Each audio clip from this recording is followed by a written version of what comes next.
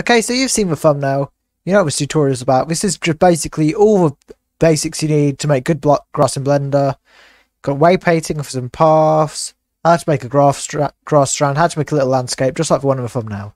So yeah, let's get started with this video.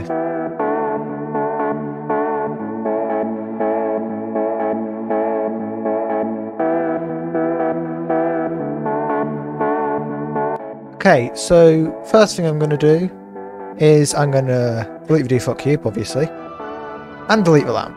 And right, there's two ways to making a very simple landscape. The first one is to simply use the landscape add-on and add a landscape with this, but this is mainly for very big landscapes, you know, very big mountains valley. We're just creating a little patch of grass. So just press Shift A to add, We'll go up here to the add menu and add a plane here. And now press S5 to scale this up by 5. And then go to edit mode by pressing tab and right click and subdivide multiple times, five or six times, depending on the power of your computer. You know, you could do it ridiculously high, you could do it ridiculously low. There will be quite a lot of vertices in this render, so so you may have some performance troubles with lower end PCs. Um, so yeah, just bear that in mind when making stuff.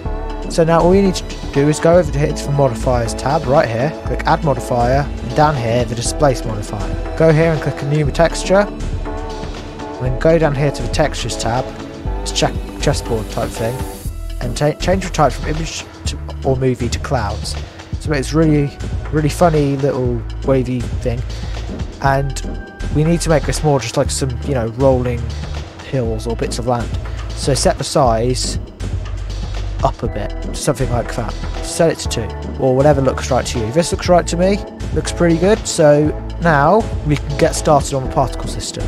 But for now, I'm just going to hide that plane by pressing H and focus on a little tuft of grass. So right now, this is how we're going to do things. We're going to add a particle system to spread little tufts of grass we're going to model out onto the plane we've just made. So what we've got to do is model one blade of grass, then make hundreds of blades of gr grass using an array modifier, randomize the rotation and scale, and then we've and then we've got to spread it across our plane. So press Shift A and add another plane, which is R, Y, 90, to rotate it 90 degrees on the Y-axis. So now we can just edit this and make it a just little tuft of grass.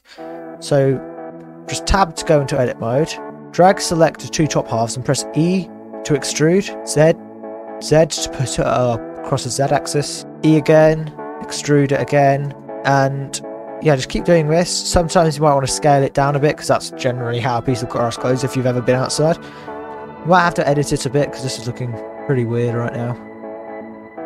You can select each of these and press S to make them bigger or smaller. Something like that looks pretty good for me. Not too much, and I might select the top half, press O to enable proportional editing, then press G to move it, and then scroll outwards whilst pressing that to edit it proportionally. Just like that. So a little blade of grass in the wind. So you can press tab to go out of edit mode, right click and shade that smooth just to make it look a little bit better, get rid of those sharp edges. Go to the modifiers here, add a modifier, and add an array modifier. Right now it's going downwards, so we need to take the factor x off, change that to 0, change either Y or Z to 1. Enter. Now it's doing this. So now this is basically just duplicating a piece of grass. So now we have to turn the count up a bit, change it to something like 10. Or, yeah, whatever looks right to you. 8 looks good in this case.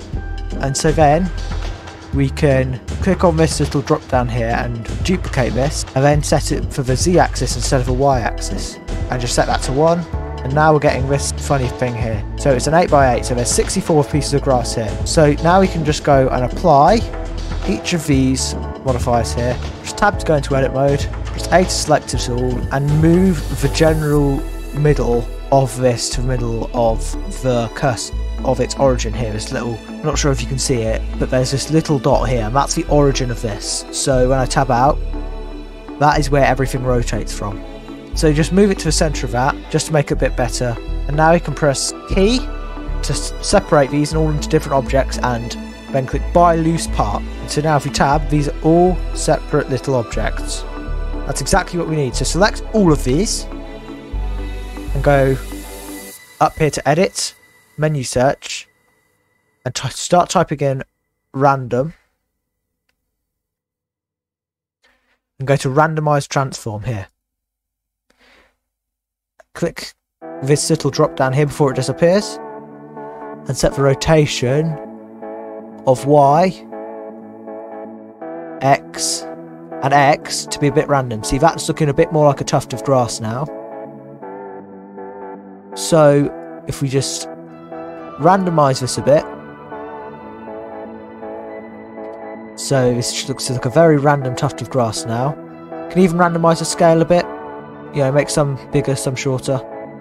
So just make it nice and random, then you can click off this, select all of these, so if we select every single one of these, we can press it, join, press Control J to join them. Then we move them around, it's all one object again.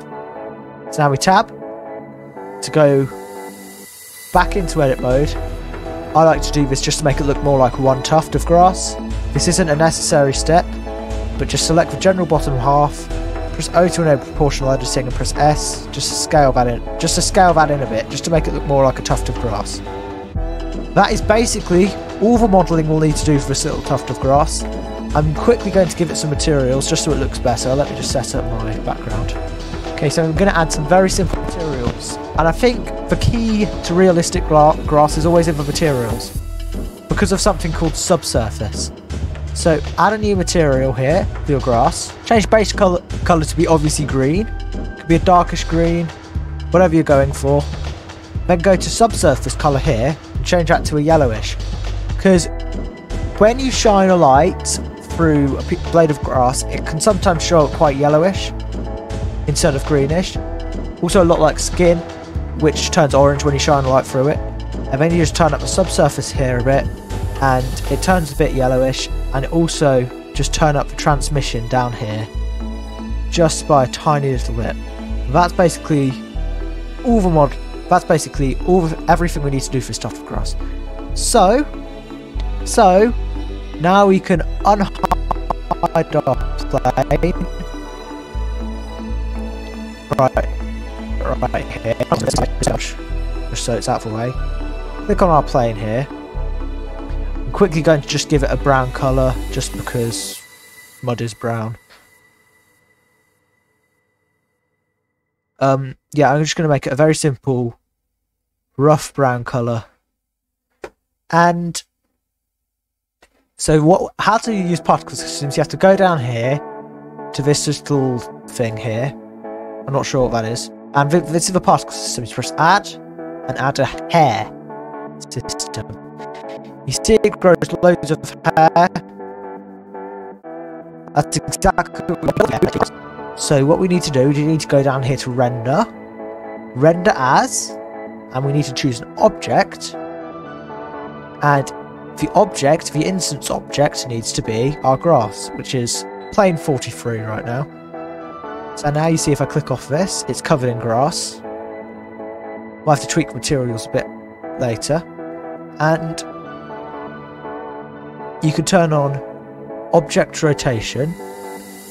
And now we can rotate this grass. And now you see we can move our grass here to see if it gives the effect we want. So we, want it, we obviously want it to be facing upwards, which it now is. So that's working well. We can go back to rend our rendered view now. And we see that it's rendering quite well. We can press H on our tuft of grass just to hide it. And you see, this is working quite well now. This looks like grass. I might just tweak the materials just a little bit, add a bit more of a subsurface in.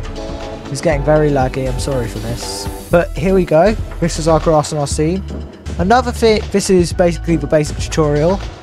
Another thing you may want to do is choose where the grass is and where the grass is. And the way you do this is with weight painting. So, what you do, you go down to the object data panel, this triangle here, add a vertex group, just leave this vertex group for now. Go back to your particle settings, here, go back to your particle settings, and go down to vertex groups, go for to density and add your group. you've just made. And now I'm going to go to this mode so it's a little less laggy. You can go from object mode down to weight paint mode. And if you paint, it paints your grass on wherever you want it. So, this is extremely good, just so you get it where you want it. And it fully randomizes your grass.